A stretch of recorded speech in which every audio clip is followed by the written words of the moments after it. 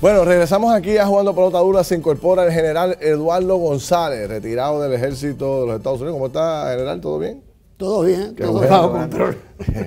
y Héctor Luis Acevedo, reservista retirado también. Héctor, ¿qué, qué rango tú tienes? comandante Este, comandante en jefe, eh, coronel. general, teniente coronel. Teniente coronel. Teniente coronel, Héctor Luis Acevedo. Y era buen soldado, ¿sabes? ¿Era buen soldado? Eh. ¿De veras? Qué bueno. Estuvimos juntos mucho Bueno, tiempo. hay un tema interesante. Se cumplen 25 años del fin de la guerra del Golfo Pérsico. que yo, yo la recuerdo como si fuese Ese fue ayer. hace dos o tres Sí, años sí, atrás sí. porque y la recuerdo porque eh, fue la primera guerra televisada Sí. La invasión a Kuwait, ¿verdad? Ajá. Correcto. Eh, sí, sí, ese es un tema que... ¿Cuál- cuál fue el origen de esta guerra? Exacto. El origen de la guerra fue bien sencillo. Eh, invadieron a Kuwait,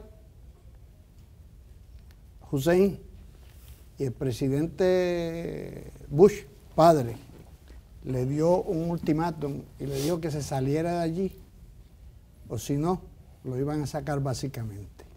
Al hacer eso, eh, obviamente Hussein no se salió y el presidente tuvo que llamar a las reservas. Es, se- es la primera vez en 40 años que se llamaban las reservas. Así. Sí.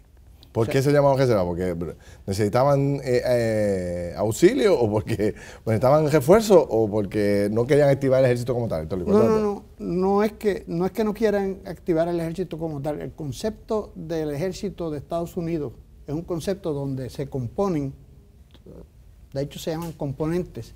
Es el ejército es el ejército activo, la reserva y la Guardia Nacional. Ok.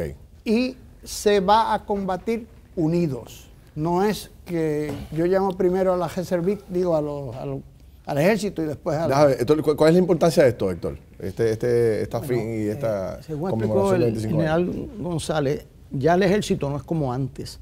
Aquí la Reserva y la Guardia Nacional, que son las tropas nuestras, fueron más de 3.000 eh, jóvenes, hombres y mujeres puertorriqueños a esa guerra. El general comandaba eh, la Reserva, eh, Willy Miranda también comandaba la Guardia Nacional de Puerto Rico y activaron esas unidades. Algunas nos iban a activar y se acabó la guerra tem- temprano y se sacó a Hussein de Kuwait y, este, y eso fue un triunfo rápido, como decía Alex, una guerra eh, bien mediatizada con los medios de comunicación.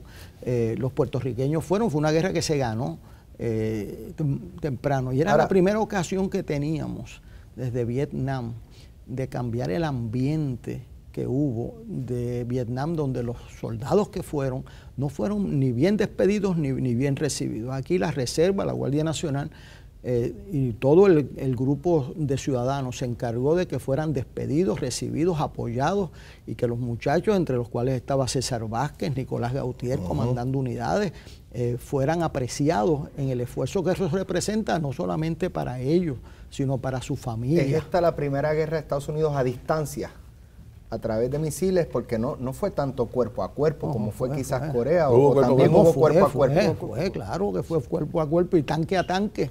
Y, y el, el efecto en, en Ah, de, de ver los misiles y, Sí, sí, y sí, cuando, sí, sí, sí. o sea, que me imagino que Era eso en el sentimiento norteamericano pues tuvo un significado, ¿no? Claro, lo que pasa es que en uno de los fuertes en Fort Knox dice allí que la última arma es el soldado. A la hora de la verdad tú no ganas la guerra desde el cielo con los aviones, la ganas abajo. Eh, y aquí pues el general movilizó sus unidades, las preparó, eh, las despedimos, las prepara, o sea, se preparó la familia, se les dio apoyo. ¿Cuánta gente, Se- cuánta gente eh, de ¿Cuántos puertorriqueños participaron en ese proceso más o menos, este coronel? más de 3.000. Más de 3.000 sí. puertorriqueños. Más Wow. de 3.000. Pero lo, lo importante de O sea esto que- aquí ahora, ¿verdad? Porque sé que estamos cortos de tiempo, Sí. es que la oficina del procurador del veterano Ajá, va a celebrar el próximo domingo 28 a la una de la tarde en American University, eso es en Ato, Texas. Sí. Va a celebrar la culminación de la guerra del Golfo, de la Qué bien. primera guerra del Golfo, y quieren darle un merecido homenaje a aquellas personas que estuvieron en esa guerra. A los 3.000, eh, A los o 3.000. a todos los que estén ¿verdad? presentes de esos 3.000. eh, pues, que, que lleguen allá para un reconocimiento. Para un reconocimiento Qué a bueno. ellos. A ellos. Y Eso sí, es el domingo 28 de febrero. Eso es este domingo. Sí, este domingo. Este Domingo que domingo, este domingo. ¿Cuántas Entonces, bajas hubo boricuas puertorriqueñas? No hubo No hubo. Cero. No, no, sé, bien. fue. En Bueno, pues, están todos en invitados. Las otras guerras ha habido bajas. Esta como acabó temprano, ¿verdad? Porque esta guerra eh, eh, se rindieron por, por muchísimas razones mucho antes de lo que se esperaba. Eh, pero aquí habían unidades, incluyendo la mía, que estaba lista para salir y no salieron porque se acabó. Se acabó. O sea, gracias a Dios. mucha más gente, sí, y, sí, sí. y que no hubo esas bajas en otras. Inclusive el alcalde Bueno, de San Juan. sí. Usted era alcalde para ese tiempo. Yo era alcalde. Alcalde de San Juan. Pero Bueno, se me ha acabado el tiempo, pero el domingo 28, este domingo. Este domingo a- en a- American University. En, ¿cómo que En el llama? American- University desde las 2 de la tarde. desde la una de De la la una de la tarde tarde. están invitados todos los veteranos y también las personas quizás más importantes de todo, que son sus familias. Oh, importante. Eso, que- Esos fueron los que verdaderamente nos ayudaron. Muy bien, muy bien. Bueno, pues felicitaciones, tremendo. Gracias. Gracias, Héctor. Gracias, coronel. Bueno, venimos con la última entrada del juego. No se vaya nadie.